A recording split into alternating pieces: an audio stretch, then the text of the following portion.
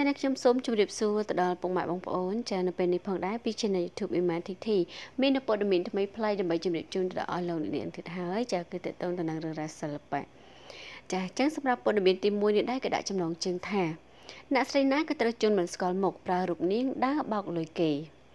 កាលពីប្រហែលម៉ោងមុននេះផ្អែកទៅលើគណនី Facebook របស់តារាសម្ដែងដែលមានប្រជាប្រិយភាពកញ្ញាអ្នកស្រីណាបានបង្កការភ្ញាក់ផ្អើលលើបណ្ដាញសង្គមខ្លាំងមែនទែននៅពេលដែលឃើញនាងបង្ហោះសារនិយាយក្តាញរឿងអ្នកដែលយករូបនាងទៅបោកបន្លំលុយអ្នកដទៃ។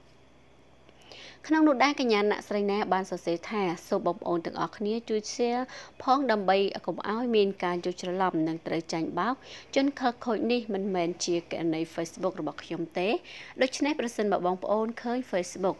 ឈ្មោះអ៊ីសាអ៊ីសារដ្ឋមន្ទីរពេជ្រមួយនេះឆាតទៅខ្ចីលុយឬក៏មានការប្រើប្រាស់ខុសឆ្គងដោយប្រការណាមួយនាងខ្ញុំសូមមិនទទួលខុសត្រូវឡើយ។ សូមបញ្ជាក់ថា Facebook ពិតរបស់ខ្ញុំមានតែមួយគត់គឺអ្នកស្រីណាដែលខ្ញុំកំពុងប្រើរាល់ថ្ងៃ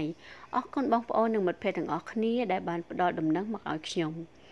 ទោះជាយ៉ាងណាក្តីអ្នកគ្រប់គ្រងស្ទើរតែមិនជឿថាមានជលខើខូចហ៊ានធ្វើបែបនេះដាក់តារាសម្ដែងកញ្ញាណាក់ស្រីណានោះទេព្រោះនាងជាតារាដែលមានប្រជាប្រិយភាពម្នាក់ហើយរូបនាងក៏មានការទទួលស្គាល់ពីមហាជនច្រើនដូច្នោះហើយជនខលខូចទាំងនោះមិនងាយនឹងបោកអ្នកណាយកលុយបានស្រួលស្រួលនោះទេចាអញ្ចឹងអ្នកខ្លះគាត់មានជំនាញរបស់គាត់មួយហ្នឹងគឺខាងចាបន្លំចា Facebook អ្នកដតីអីចឹងទៅដើរបោកចាខ្ចីលុយកុហកចា មានហេតុផលសពបែបយ៉ាងអញ្ចឹងទៅធ្វើឲ្យអ្នកខ្លះគាត់មិនដឹងក៏ចាញ់បោកហ្នឹងក៏មានដែរចាប៉ុន្តែឥឡូវសារតែមានរឿងរ៉ាវបែបហ្នឹងច្រើនគឺធ្វើឲ្យបងប្អូនយើងដែលគាត់អ្នកនិយមលេងបណ្ដាញសង្គម Facebook គឺមិនសូវមិនជឿទេចាអ្នកខ្លះណាគឺគាត់មិនងាយនឹងលងជឿនោះទេដោយសារតែមានព័ត៌មានច្រើនអញ្ចឹងទៅក៏ដំណឹងចាដល់ដល់គ្នាអញ្ចឹងទៅពេលដែលឃើញមានរឿងអ្វីបានកើតឡើងគឺគាត់ចាអាចថាអ្នកស្គាល់គ្នាចឹងខលទៅប្រាប់អីចឹងទៅចា ចាចឹងឥឡូវនេះដែរយើងក្លែកមកមើលព័ត៌មានជើងមួយទៀតចាដែលតកតងទៅនឹងចាអើយកូនក្រុមចាកញ្ញាសុវិសានៅក្នុងកម្មវិធី The Voice Kids ចាចាអញ្ចឹងកូនក្រុមសុវិសាបងប្រុសផនសៀងលីចាคล้ายជាថកែវ័យក្មេងបើកជួលតន្ត្រី ចឹងប្រិមិត្តជាច្រើនដែលបានតាមដាននៅក្នុងកម្មវិធីប្រឡងចម្រៀងកុមារលំដាប់ថ្នាក់ពិភពលោក The Voice Kids ចាស់រដូវកាលទី2ប្រកាសជាបានស្គាល់និងដឹងហើយថាកូនក្រុមរបស់តារាចម្រៀងកញ្ញាស៊ូវិសាប្អូនប្រុសផនស៊ីងលីដែលមានសមត្ថភាពស្រែកច្រៀងបានយ៉ាងល្អនិងមុខមាត់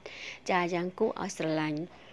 ទោះបីជាមិនទទួលបានជីលីភីនៅក្នុងកម្មវិធីយ៉ាងណាក្តីក៏ក្មេងប្រុសរូបនេះទទួលបានការងារឡើងច្រៀងតាមបណ្ដាការប្រគំតន្ត្រីនានាជាច្រើនគួរឲ្យកត់សម្គាល់ចំណែកឯប្រជាប្រិយភាពរបស់ប្អូនប្រុសនាពេលបច្ចុប្បន្ននេះក៏មានច្រើនមិនចាញ់ម្ចាស់ពានរង្វាន់ប៉ុន្មាននោះទេ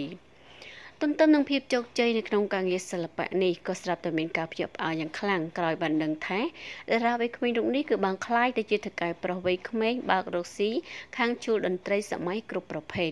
កាលពីពេលកន្លងទៅនេះដំណឹងទាំងនេះគឺបានធ្វើឲ្យមហាជនជាច្រើនមានការភ្ញាក់ផ្អើលយ៉ាងខ្លាំងដែលសូម្បីតែមេក្រុមកញ្ញាសុវិសាក៏រំភើបចិត្តមិនស្ទើរនៅពេលដែលឃើញបែបនេះដែលក្នុងនោះនាងក៏បានរៀបរាប់ទាំងភ្ញាក់ផ្អើលថាវ៉ាវលយកប់ ថកែតូចចាកុំភ្លេចជួយគ្រប់គ្រងក្រុមតន្ត្រីសម័យរបស់កំឡោះតូចផនសៀងលេខផងណាបងបង ដែលក្រុមតន្ត្រីគាត់គឺមានឈ្មោះថាតន្ត្រីផនសៀងលេខចាអញ្ចឹងឃើញថាវ័យក្មេងមែនក៏ប៉ុន្តែគឺគាត់ចាអាចខ្លាយជាម្ចាស់ចាក្រុមតន្ត្រីមួយបាត់ទៅហើយចាដោយសារតែមានការគ្រប់គ្រងពីខាងក្រុមគ្រួសារចាចឹងបងប្រុសស៊ីងលីដែលរៀងតូចចា តូចល្អិតចាមកគាត់ហ្នឹងគឺថាសង្ហាគួរឲ្យស្រឡាញ់តែម្ដង